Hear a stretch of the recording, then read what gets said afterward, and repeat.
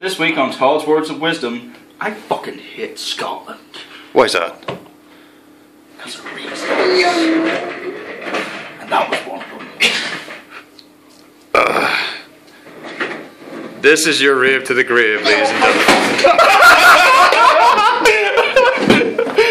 This is one of the reasons I hate Scotland!